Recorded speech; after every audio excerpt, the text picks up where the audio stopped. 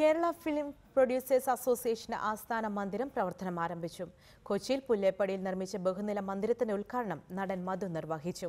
മമ്മൂട്ടി മോഹൻലാൽ എന്നിവരുൾപ്പെടെയുള്ളവർ പങ്കെടുത്തു. ആദ്യകാല നിർമ്മാതാക്കളെ ചടങ്ങിൽ ആദരിച്ചു. നിർമ്മാതാക്കളുടെ ദീർഘകാല ആഗ്രഹമാണ് കൊച്ചിയിൽ യാഥാർത്ഥ്യമായത്. പുല്ലേപ്പടി അരങ്ങത്ത് റോട്ടിൽ നിർമ്മിച്ച അഞ്ചു നില മന്ദിരത്തിന്റെ ഉദ്ഘാടനം നടൻ മധു നിർവഹിച്ചു. ഒന്നാം നിലയിൽ അസോസിയേഷൻ ഓഫീസ് മമ്മൂട്ടിയും മോഹൻലാലും ചേർന്നാണ് ഉദ്ഘാടനം ചെയ്തത്.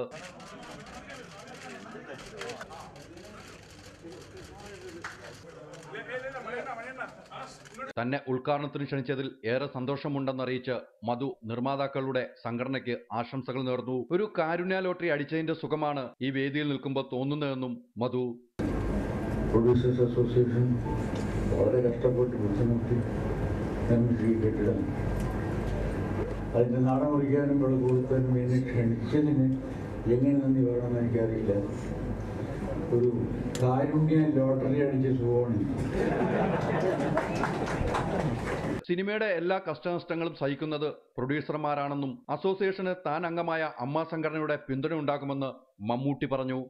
എളിയ ഒരു സഹായത്തിന് വ്യക്തിപരമായി ഞാനും ഞങ്ങൾക്കുള്ള ഞങ്ങളുടെ സംഘടനയും ഉണ്ടാകുമെന്ന് വാഗ്ദാനം ചെയ്തു. മലയാള സിനിമയുടെ നട്ടെല്ലാണെന്ന് മോഹൻലാലിന്റെ വാക്കുകൾ സംഘടനയുടെ വളർച്ചയ്ക്ക് എന്നും കൂട്ടുനിൽക്കുമെന്നും മോഹൻലാലിന്റെ ഉറപ്പ്. ഇത് മലയാള സിനിമയുടെ വലിയൊരു ശക്തി കേന്ദ്രമാണ്. മലയാള സിനിമയുടെ നട്ടെല്ലാണ്.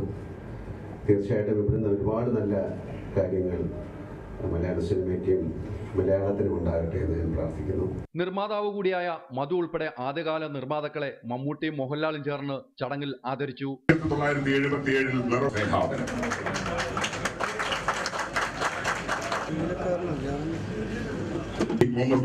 സ്നേഹാപത്രം നിർമ്മിച്ചുകൊണ്ട് കടന്നു പത്തു കോടിയോളം രൂപ ചെലവിട്ടാണ് പതിനാലായിരം ചതുരശ്ര അടി വിസ്തീർണമുള്ള കെട്ടിടം നിർമ്മിച്ചത്. ഗസ്റ്റ് ഹൗസും പ്രിവ്യൂ തിയേറ്ററും കോൺഫറൻസ് ഹാളും തുടങ്ങി വിപുലമായ സൗകര്യങ്ങളോടെയാണ് മന്ദിരം യാഥാർത്ഥ്യമാക്കിയിരിക്കുന്നത്. കെട്ടിട നിർമ്മാണത്തിന് സഹായിച്ചവർക്ക് പ്രത്യേക നന്ദിയും അറിയിച്ചു. V. S. Haider Ali reporter Kochi.